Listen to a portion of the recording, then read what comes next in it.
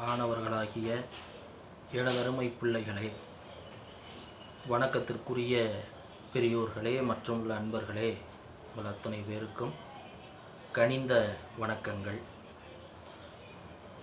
ஏற்கனவே நம்ம வீட்டுக்குள்ளே தான் இருந்துகிட்டு இருக்கிறோம். அரசாங்க உத்தரவின்படி. இந்த நிலையில் மறுபடியும் நம்முடைய பிரதமர் அவர்கள் அடுத்த மாதம் மூன்றாம் தேதி வரைக்கும் ஊரடங்கு அப்படிங்கிறத சொல்லியிருக்கிறாங்க. எல்லாமே நம்முடைய பாதுகாப்புக்கான நடைமுறைகள் தான்.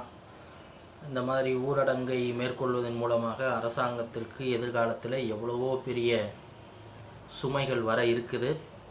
ஆனால் அதெல்லாம் இருந்தாலும் கூட அவ்வளவு சிரமத்தையும் எதிர்கொள்வதற்கு தங்களை தயார்படுத்தி கொண்டு இந்த ஊரடங்கை அவங்க அமல்படுத்துகிறாங்கன்னா எல்லாமே நம்முடைய உயிரின் மீது நம்முடைய நல் வாழ்க்கையின் மீது அரசுக்கு இருக்கக்கூடிய ஒரு அக்கறைதான் என்பதை நாம் உணர்ந்து அரசாங்கத்திற்கு ஒத்துழைப்பு தருவோம் என்று சொல்லிக்கொண்டு இன்றைக்கி பதிவுக்குள்ளே போயிடுவோம் இன்றைக்கி தலைப்பு முன்னாடியே பார்த்துருப்பீங்க தொட்டில் பழக்கம் எது வரைக்கும் அப்படிங்கிற மாதிரி. நம்ம அந்த பழமொழியை கூட தொட்டில் பழக்கம் சுடுகாடு மட்டும் அப்படின்னு பழமொழி உங்களுக்கு வரும். அது என்ன தொட்டில் பழக்கம் அப்படின்னா அது அந்த சிறு இ- இளம் பிராயம் சிறு பருவத்தை குறிக்கக்கூடிய ஒரு குறியீட்டு சொல்லு தான் அந்த தொட்டில் பழக்கம் அப்படிங்கிறது.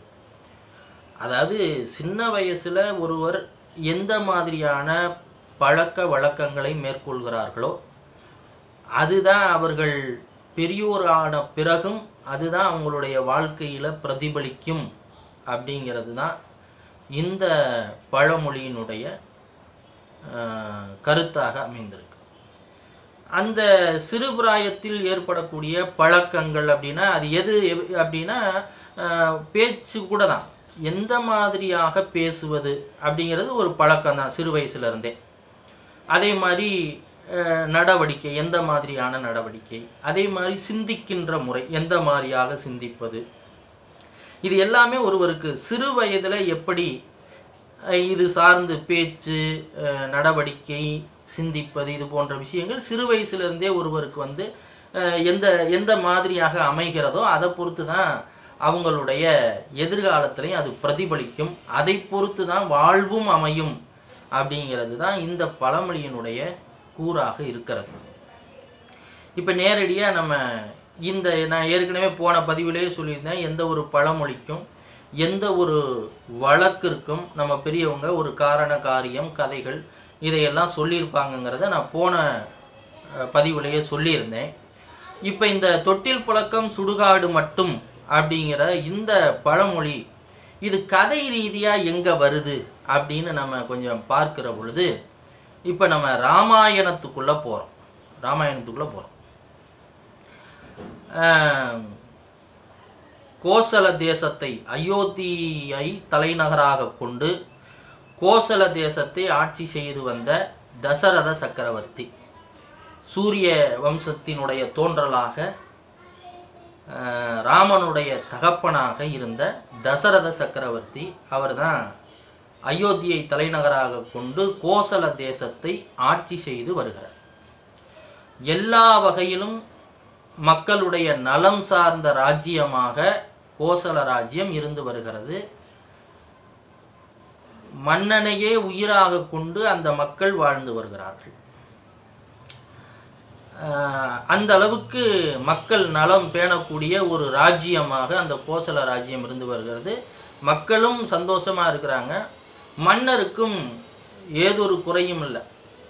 ஆஹ் தேவர்களுக்கே வந்து சம்பராசுரன் அப்படிங்கிற அசுரனால் ஆபத்து நேர்ந்த பொழுது அவனை போரில் முறியடிக்க முடியாமல் இருந்த பொழுது தேவர்களுக்கு ஆதரவாக இந்த தசரதன் தலைமை எடு தலைமையேற்று படையெடுத்து சென்று அந்த சம்பராசுரனை வதை செய்தான் என்றெல்லாம் அந்த சிறப்பு பெற்றவன் இந்த தசரதன். பேரே பாருங்க தசரதன் தசுனா பத்து.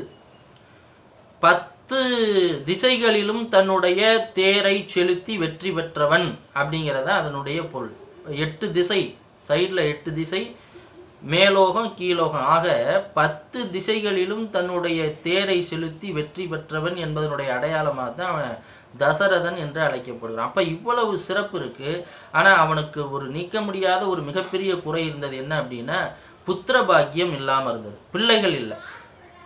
ரொம்ப நாளமாக பிள்ளைகள் இல்லாமல் இருந்து அவன் மிகவும் மனது நொந்து போகிறான் அப்போ வெகு காலத்துக்கு பிறகு இதுக்கு என்ன செய்யறது ஏது செய்யறதுன்னு சொல்லும் பொழுது அவனுடைய குலகுரு வசிஷ்டர் மகரிஷி வசிஷ்ட மகரிஷி இருந்தார். அவர் இவனுக்கு ஒரு யோசனையை சொல்கிறார் இந்த மாதிரி காட்டுக்குள்ளே மனித வாடையே மனித சஞ்சாரமே இல்லாத அறியப்படாத ஒரு மகரிஷியாக தன்னை தனிமைப்படுத்தி கொண்டு மிகப்பெரிய தவங்களையும் யோகங்களையும் யாகங்களையும் செய்து தனக்கென்று தனி ஒரு ஆத்ம வல்லமை பெற்றவராக ரிஷிய சிருங்க முனிவர் அப்படிங்கிற ஒரு முனிவர் இருக்கிறாரு. இந்த ரிஷிய சிருங்கர் அப்படிங்கிறது அது சமஸ்கிருத சொல்லு. நம்ம தமிழ்ல அவரை எப்படி சொல்றாங்கன்னா கலைக்கோட்டு முனிவர் அப்படின்னு சொல்றாங்க. கலைனா மானு கோடுனா கொம்பு. அவருடைய தலையில ஒரு மான் கொம்பு இருக்குமா? அதனால தான் அவரை கலைக்கோட்டு முனிவர்னு சொல்றாங்க. இப்போ வசிஷ்டர் என்ன சொல்றாரு? அந்த கலைக்கோட்டு முனிவரை கூப்பிட்டு வந்து அவருடைய தலைமையில புத்திரகாமோஷ்டி யாகம்ங்கிற யாகத்தை செஞ்சோம்னா உனக்கு பிள்ளை பேறு பெறுவதற்கு வாய்ப்பு இருக்கு அப்படின்னு சொல்கிறார் சரின்னு சொல்லி அவரை எப்படி இங்கே வர வைக்கிறதுன்னு சொல்லி அதுக்கு பல யோசனைகள்லாம் செஞ்சு அவரை திட்டமிட்டு அழைச்சிட்டு வந்து அவரை சமாதானப்படுத்தி அவரை இந்த யாகத்துக்கு இணங்க வச்சு அவரை அந்த யாகத்தை நிகழ்த்துறாரு. யாகம் சிறப்போடு செய்து முடிக்கப்படுகிறது. முடிகின்ற தருவாயில அந்த யாக யஜ்யத்திலிருந்து அதாவது அந்த நெருப்பு குண்டத்திலிருந்து ஒரு பூதம் ஒரு திவ்ய அமுதம் போன்ற ஒரு பாயாசம் நிரம்பிய ஒரு கலசத்தை கொண்டு வந்து கொடுத்துட்டு போகுது. அப்ப அந்த முனிவர் சொல்றாரு இந்த கலசத்தில் உள்ள பாயாசங்களை உன்னுடைய பட்டத்து அரசிகளுக்கு கொடு. கூடிய சீக்கிரம் நல்ல செய்தி வரும் அப்படின்னோடனே அவரும் தன்னுடைய பட்டத்தரசிகளுக்கு அந்த பாயாசத்தை மூணு பேர் இருக்கிறாங்க. கோசலை கைகேயி சுமத்திரை அப்படின்னு மூணு பேர் இருக்கிறாங்க. அவங்க மூணு பேருக்கும் பங்கிட்டு கொடுக்குறாரு. பங்கிட்டு கொடுத்து காலம் சிறிது காலம் போகுது. அவங்க மூவருமே கருவுறுகிறாங்க கருவுற்ற உடனே சிறிது காலத்தில் பிள்ளைகளும் பெறுகிறாங்க. அதில் மூத்த மனைவி கோசலைக்கு ராமன் அதுக்கடுத்து இளையவன் கைகைக்கு பரதன். அதுக்கடுத்து அவளுக்கு சுமித்திரைக்கு வந்து ரெண்டு பிள்ளைகள் பெறுகிறா லக்ஷ்மணன் சத்ருகணன் அப்படின்னு ரெண்டு பிள்ளைங்க ஆக மொத்தம் நாலு பிள்ளைகள் பிறக்கிறாங்க. அரண்மனை பூரா ஒரே சந்தோஷம். ஒரே துள்ளல் கொண்டாட்டம் கோலாகலம். கண்ணில் பார்க்குறவங்களுக்கெல்லாம் அள்ளி அள்ளி கொடுக்குறார். இந்தா வச்சுக்கோங்க இந்தா எடுத்துகிட்டு போங்க அப்படின்னு சொல்லி அள்ளி அள்ளி கொடுக்குறாரு. மக்களுக்கு அதை விட சந்தோஷம். நம்ம மன்னருக்கு பிள்ளைகள் பிறந்துருச்சுன்னு சொல்லி ஒரே சந்தோஷம். இப்படி அந்த பிள்ளைகள் பிறந்து கொஞ்ச நேரத்திலேயே அங்கே வர்றவங்களுக்கு எல்லாமே எடுத்து கொடுக்கும் போதே காவலர்களை கூப்பிட்டு எப்போ அந்த தச்சங்கிட்ட சொல்லி தொட்டி செஞ்சு வாங்கிட்டு வாங்கப்பா அப்படின்னு சொல்லி விடுறாங்க. ஒருத்தன் வேகமாக ஓடுறான். இந்த அரண்மனைக்கினே தச்சு வேலைக்குன்னு உரிய அந்த தச்சன்கிட்ட போய் அந்த காவக்காரன் மன்னருக்கு பிள்ளைகள் பிறந்திருக்கு உடனே தொட்டில் செஞ்சு எடுத்துட்டு வான்னு சொல்லிட்டு அவன் அவசர அவசரமாக ஓடிடுறான். இவன் இப்படி சொல்லிட்டு போனோடனே அந்த தச்சு வேலை செய்கிறவர் யோசிக்கிறாரு. மன்னருக்கு குழந்தைகள் ஓ குழந்தைகள் ஓ ரெட்ட குழந்தை பிறந்திருக்கும் போல அப்படின்னு சொல்லிட்டு அவர் என்ன செய்கிறாரு நல்ல உயர்ந்த சாதி மரத்தில் பெருசு பெருசாக ரெண்டு தொட்டில் எடுத்து செஞ்சுக்கிட்டு இங்கேருந்து கொண்டு போகிறார் கொண்டு போய் அங்கே வச்சுட்டு பார்த்தா அங்கே நாலு குழந்தைகள் இருக்குது அப்போ இவர் சொல்கிறாரு குழந்தைகள்னு சொல்ல எத்தனைன்னு சொல்லலை எனக்கு. நான் ஒரு ரெண்டு மட்டும்தான் செஞ்சு எடுத்துகிட்டு வந்தேன். என்ன பண்ணுறதுன்னு தெரியல அப்படின்னோடனே அப்போ பக்கத்தில் இருக்கவங்க சொல்கிறாங்க அதனால் பரவாயில்ல தொட்டிகள் பெருசாக தானே இருக்குது அதனால் தொட்டிக்கு ரெண்டு குழந்தையாக நம்ம போட்டுக்கலாம் அப்படின்னு சொல்லி முத மூத்தவன் ராமனை தூக்கி ஒரு தொட்டிலில் போடுறாங்க. அதுக்கு அடுத்து இளையவனாக இருக்க பரதனை தூக்கி இன்னொரு தொட்டிலில் போடுறாங்க. சரி இப்போ அடுத்து என்ன பண்ணுறது அப்படின்னா அதுக்கடுத்து இளையவன் லக்ஷ்மணன். அந்த லட்சுமணனை தூக்கி ராமன் இருக்க தொட்டிலில் போடுறாங்க. கடைசியாக சத்ருகனன் இருக்கிறான். அவனை தூக்கி பரதன் இருக்கிற தொட்டியில் போடுறாங்க. இப்போ ராமர் லக்ஷ்மணன் ஒரு தொட்டில். பரதன் சத்ருகனன் ஒரு தொட்டில். இந்த ஜோடி இருக்கு பாருங்க இந்த இணை. இந்த தொட்டிலில் சேர்ந்த இந்த இணை. அடுத்து நீங்கள் ராமாயணத்தில் எங்கே பார்த்தாலும் சரி ராமர் எங்கே இருக்காரோ அங்கே லக்ஷ்மணன் இருப்பான். பரதர் எங்க இருக்காரோ அங்க சத்ருக்கணன் இருப்பான்.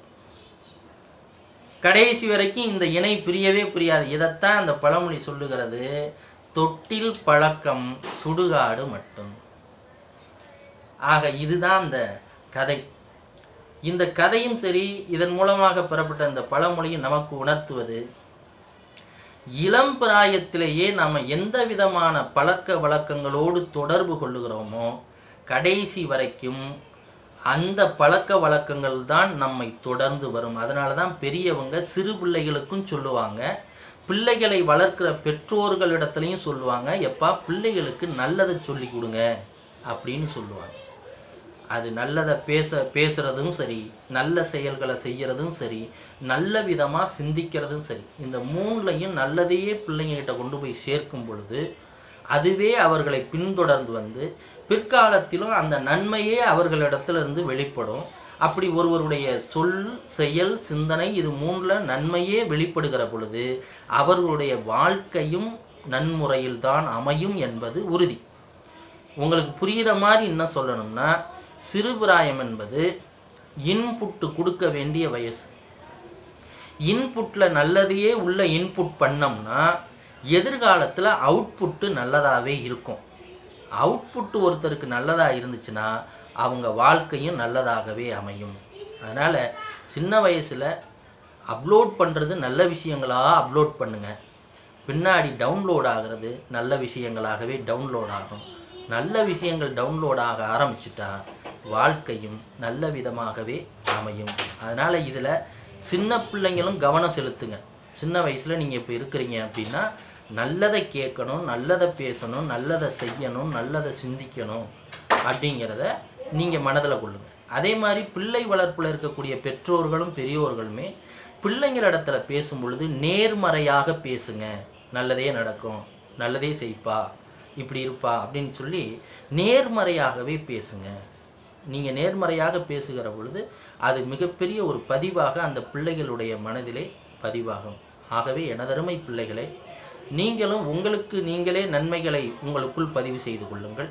அதே மாதிரி மூத்தோர்கள் நன்மைகளை சொல்லுகிற பொழுது அதை காது கொடுத்து கேளுங்கள். ஏன்னா சில நேரங்களில் உங்களுடைய அந்த இளமை வேகம் என்ன செய்யும்? பெரியவங்க சொல்லும் பொழுது இவங்களுக்கு என்னப்பா இதே வேலை? அப்படின்னு சொல்லும். ஆனால் உண்மை என்ன தெரியுமா? ஒரு பழமொழி உண்டு. மூத்தோர் சொல்லும் முதிர் நெல்லி கனியும் முன்னே கசக்கும் பின்னே இனிக்கும். இதுதான் உண்மை. ஆரம்பத்தில் பெரியவங்க சொல்கிறது கொஞ்சம் கசப்பாக இருக்கும். அதை கேட்டு நடந்தீங்கன்னா பிற்காலத்தில் அது உங்களுக்கு மிகப்பெரிய இனிப்பாக மாறும். ஆகவே எனதருமை பிள்ளைகளை இளம்பிராயத்தில் நல்ல விதமான விஷயங்களை உங்களுக்குள் அப்லோட் செய்யுங்கள். எதிர்காலத்தில் அந்த நல்ல விஷயங்களே உங்களுக்குள் இருந்து டவுன்லோட் செய்யப்படும். அப்படி நல்லவைகள் எவருக்குள் இருந்து டவுன்லோட் ஆகிறதோ அவர்களுடைய வாழ்க்கை சிறந்ததொரு வாழ்க்கையாக பிறரால் புகழப்படக்கூடிய வாழ்க்கையாக சந்தோஷம் நிரம்பிய வாழ்க்கையாக அமையும். அப்படிப்பட்ட ஒரு வாழ்க்கையை நீங்கள் அமைத்துக்கொள்ள வேண்டுமென்று உங்களை என் மனதார வாழ்த்துகிறேன். நன்றி வணக்கம்.